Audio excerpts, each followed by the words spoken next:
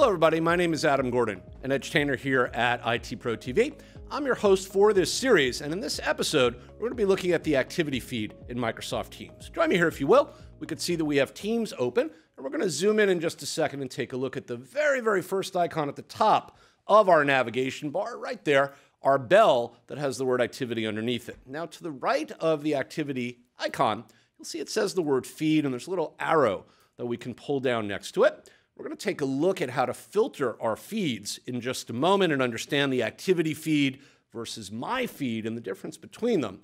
But let's start broadly defining what the activity feed is. The idea of the activity area here and the feeds that are available to us is the idea of pulling together all of the posts and the content and the information that people may be engaging in and creating and talking about within teams in various areas and exposing it, making it available to us in one easily consumable and one easily searchable and one easily found place. And so by coming here, we get access to that information. Now you'll notice if I look off to the right in the details area that I'm looking at the general channel and I'm in a team that has kind of a strange icon. This is one of our teams here at IT Pro TV, and this is our social edutainers team, the team that I am a member of, being an edutainer here.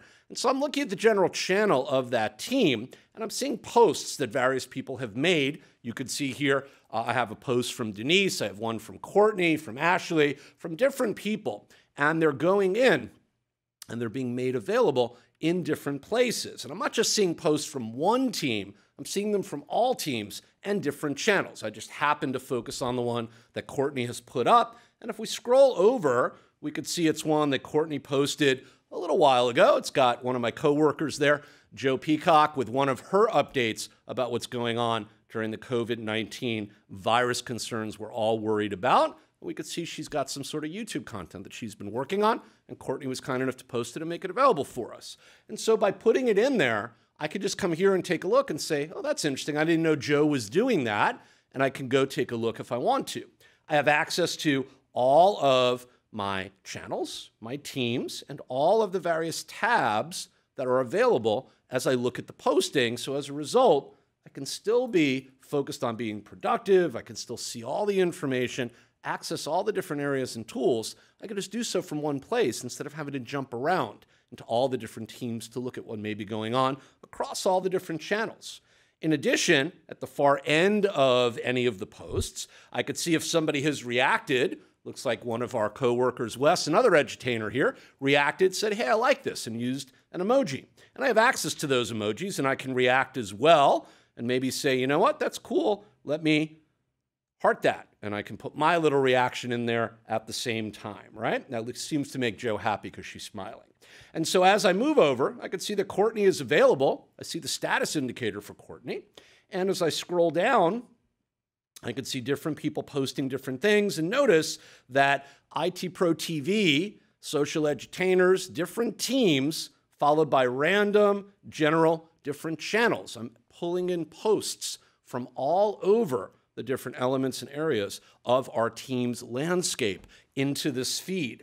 And as I come up here and I look at the feed, if I pull down this arrow, I'm going to see that I actually have two versions of or two ways to see the activity. I have the general activity feed, which is broad and encompasses posting from anybody across the organization that's putting content in to teams that I may be aware of, be a member of, and want to find out about. So it's a, a broad look. And then I could filter it even more and go to the My Activity filter, which means I'm only going to see posts and activity that I have initiated, that I have created, and that I'm participating in, a subset of the overall general feed.